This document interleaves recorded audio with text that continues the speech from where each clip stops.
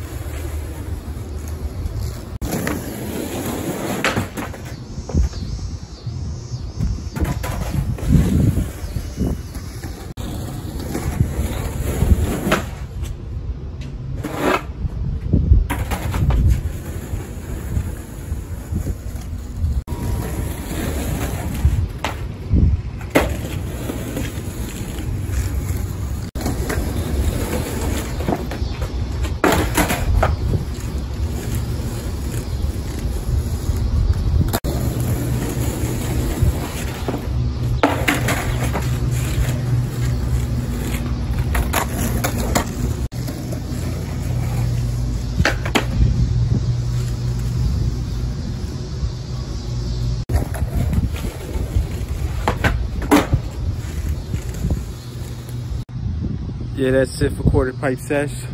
Let's move on to the next one. Have a great day. Thanks for watching. Have a great day and G4 out.